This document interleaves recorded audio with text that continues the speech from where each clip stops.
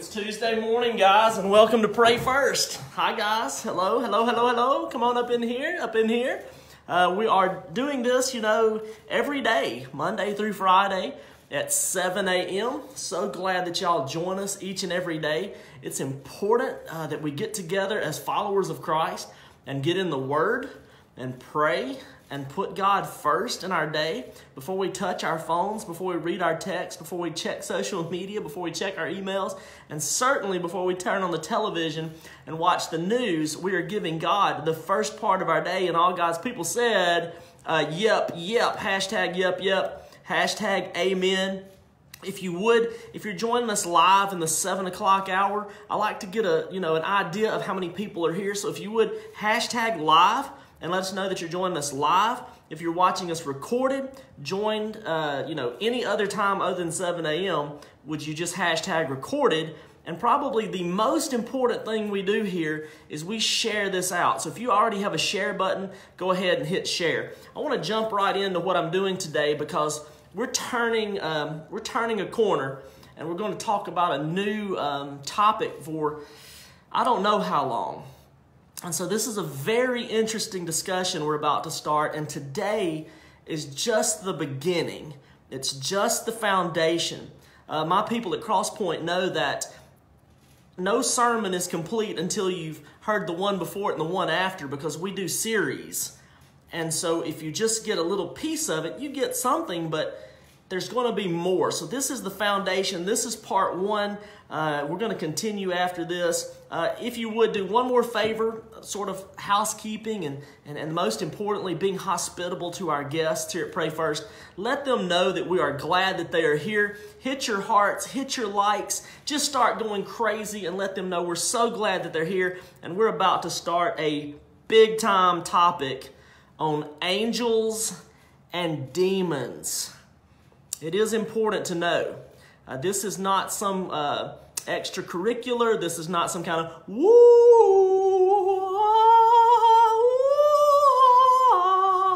This is not uh, fiction. This is reality, and we're going to look at what does God's Word say about the spirit realm that we cannot see, and more importantly for me, I want to tell you why it matters, okay? Hashtag it matters. You need to know about the spirit world. You need to know that there is something that is beyond what we see, uh, sometimes what we can feel, uh, you know, with our senses. There's something that is out there, and there is a reason we need to know that. Let's start with looking at freedom in Jesus Christ. You need to know that freedom can be found in Jesus Christ, but freedom is a spiritual implication.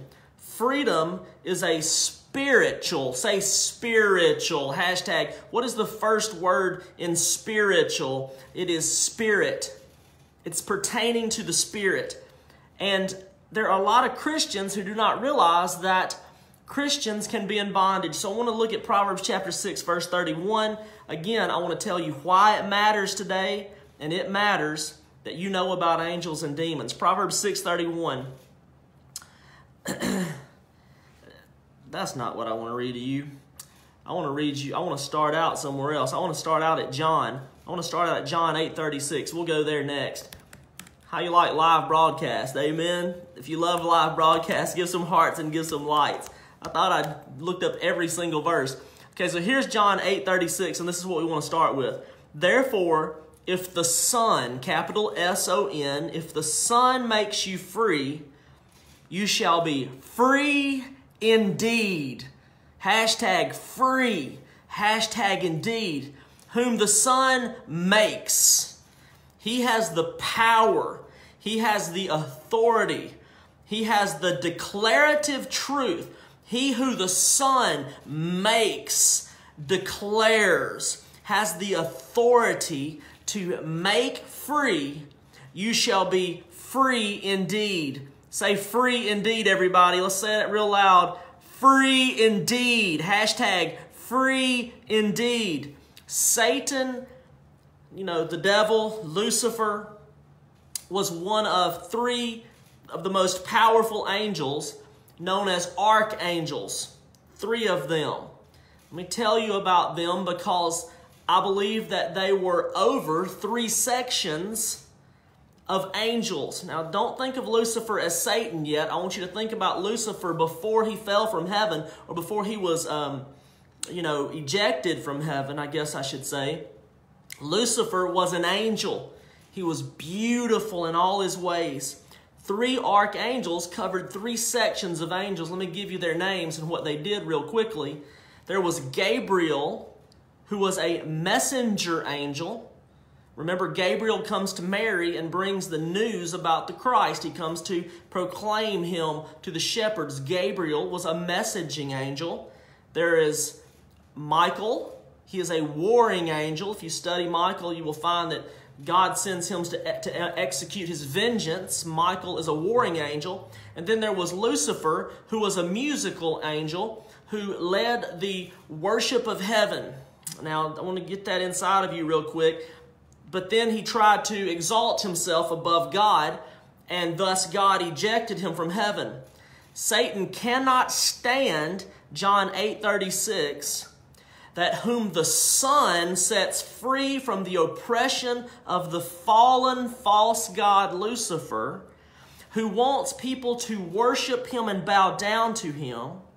Even Lucifer, when he talked to Jesus, uh, in the, uh, the temptations of Christ, he told Jesus, I will give you everything that you see. In other words, proclaiming his lordship over all, if you will express your love to me. He says, I'm the, I'm, don't forget who I am. I'm the worship leader of heaven. Jesus, you're going to bow down to me. You're not going to tell me anything. You're not going to believe in me. You're going to, you're going to proskuneo. You're going to express your worship to me. And Satan cannot stand that the Son of God would not bow, would not express, would not worship, and then took all authority, the keys of death, hell, and the grave, fear, oppression, uh, from him, and now he is setting people free from his grip, from his power, from his circle of influence. Satan can't stand getting caught as he oppresses people. And I want you to know that Satan and Lucifer and the fallen angels with him oppress people today. This is not an Old Testament thing. This is a, this is a reality that there are spirits around us. And he can't stand getting caught because Proverbs 6.31 tells us when a thief gets caught, hashtag thief, Lucifer's a thief. Come on, hashtag thief. When a thief gets caught, that thief must restore what's been stolen sevenfold. Woo, that's good stuff. That's not Doug stuff. That's, listen, when the thief gets caught in your life, he is required by the principles of God to restore what he's stolen from you, not in accordance to what he took, but he's required to give you back sevenfold. I hope you're getting this. Most believers, however, do not feel free indeed. Most believers, however, do not know they can be free indeed because most believers don't know they can be in bondage hashtag believers can be in bondage. John chapter 8, when he says, Whom who the Son has set free is free indeed, he's speaking to Jews who had become believers, who had become followers. He's not speaking to lost people. He's saying, You who are believers are in bondage, and the Son can set you free. So let me answer this question first. Is it possible for a Christian to be in bondage? Mark chapter 5. This is a big deal, so I'm going to read the whole thing, okay? Verse 1 through 20.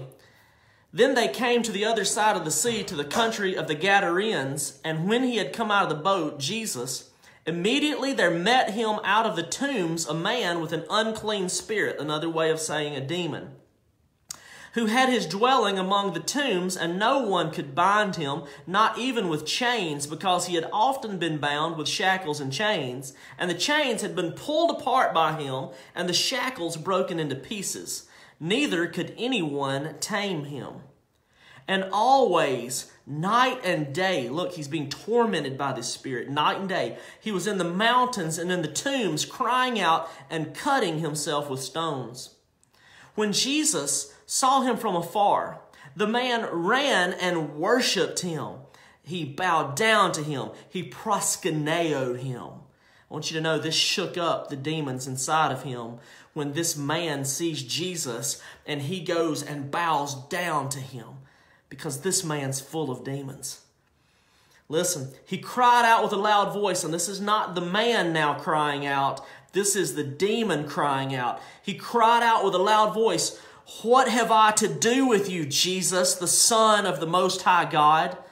Jesus hadn't said a word, but the demons remembered who he was.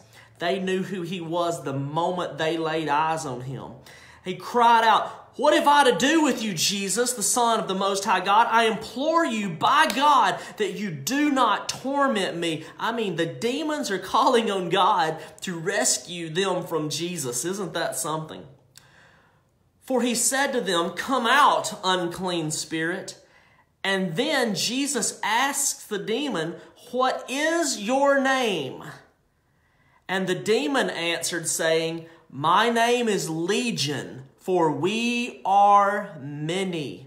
Somewhere in the neighborhood of a legion, as far as a Greek, uh, a Roman garrison or an army, was in the neighborhood of 5,000. So this guy didn't have one demon. This guy had thousands of demons. And the spokesperson said, We are many. Uh, we are legion, for we are many. Also, he begged, the demon, the spokesperson begged, him earnestly that he would not send him out of the country because demons do not like to leave where they have strongholds. Verse 11. Now a large herd of swine was feeding in the nearby mountains, very large. So all the demons begged him. So now they're all screaming and begging from inside of this man, send us into the swine that we may enter them into the pigs. And at once Jesus gave them permission. Then the unclean spirits went out and entered the swine and there were about 2,000 of them. So there was at least 2,000 demons in this legion scenario. And the herd ran violently down the steep place into the sea and drowned in the sea. So those who fed the swine fled and they told everyone in the city and the country. And they went out to see what had happened. Can you imagine 2,000 pigs floating in the water? Then they came to Jesus and saw the one who'd been demon possessed with legion sitting clothed and in his right mind, and they were afraid. He who, he who the Son sets free, John 8 36, is free indeed. Uh, in his right mind, and they wondered and they were afraid and, and they wondered what had happened. And he told them what had happened to him, that he had been demon possessed, and he told them about the swine, and they began to plead with him. They're telling this, Jesus, they're telling, would you please leave the country because this is too spooky for us.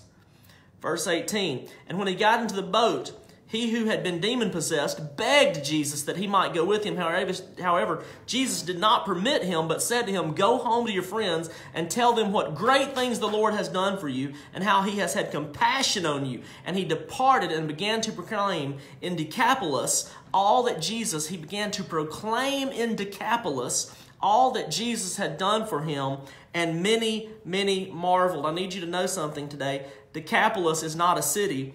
A Decapolis is 10 cities. Deca, 10. Opolis, like metropolis or city, 10 cities. A Philadelphia, not Pennsylvania, but Philadelphia, Damascus, you know, the road to Damascus. Uh, these were two of the cities that were part of the 10 cities of Decapolis. Now, let me read you a couple of more things in just a minute, but it's important to understand point number one so that we can build on this foundation for the rest of the week. Now, I want to answer this question. Number one, are there really demons? Uh, yes. There, number one, point number one, there really are demons.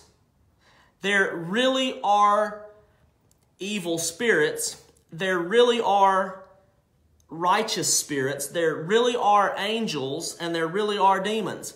Demons are mentioned 82 times in the in the New King James Version, 80 times in other versions. It's just a, a, difference of terminology. 82 times demons are referred to in the New King James Version. 61 times Jesus speaks about demons specifically in the Gospels.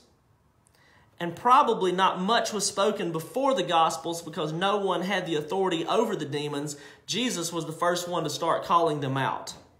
Jesus was the first one to start setting people free.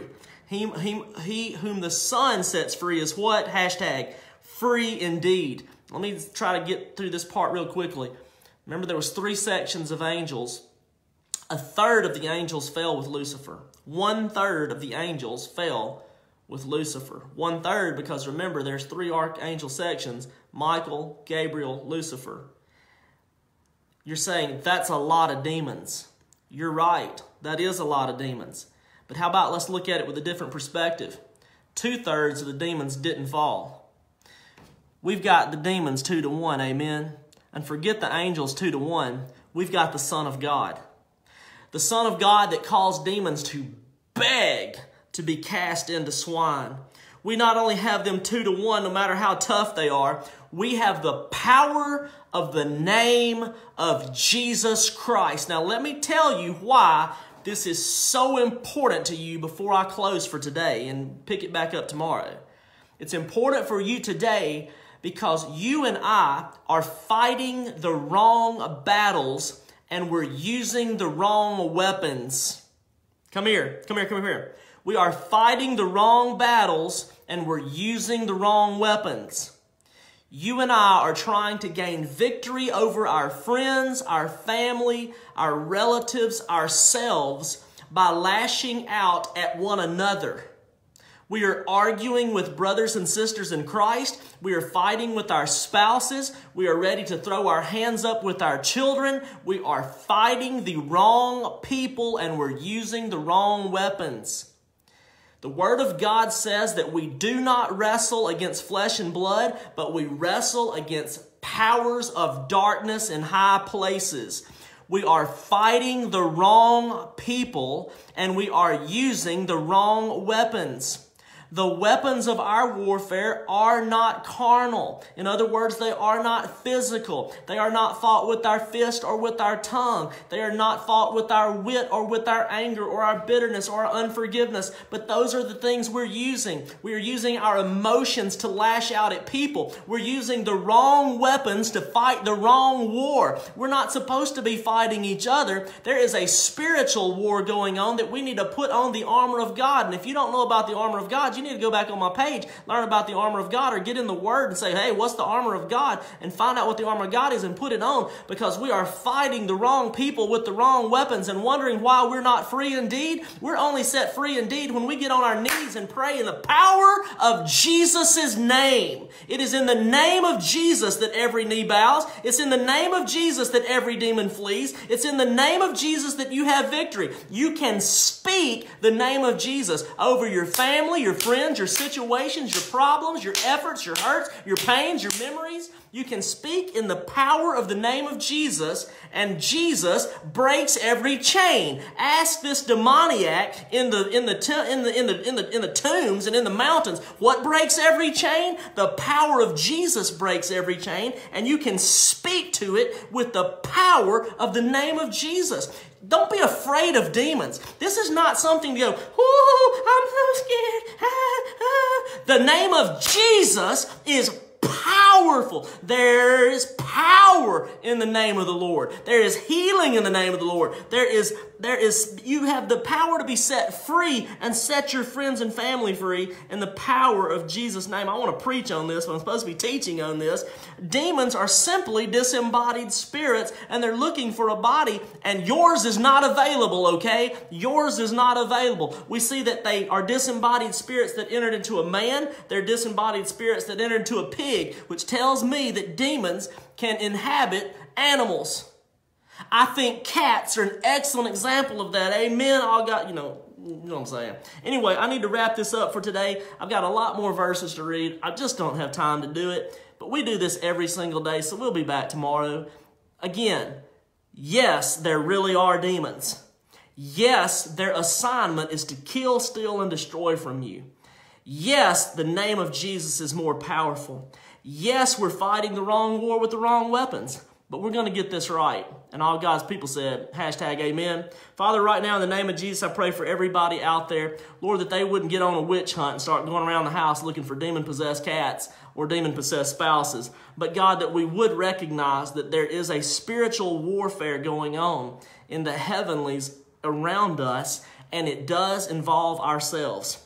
We need to today to plead the blood of Jesus over ourselves, and I plead the blood of Jesus over everyone watching there's nothing to be afraid of, but there is something that we must be aware of, and that is the right war with the right weapons in the name of Jesus. And all God's people said, Amen. I got to get out of here. Be back tomorrow. Uh, we're going to be diving super deep into angels and demons, so don't miss a single episode and share this out right now. Bye, guys. I love y'all.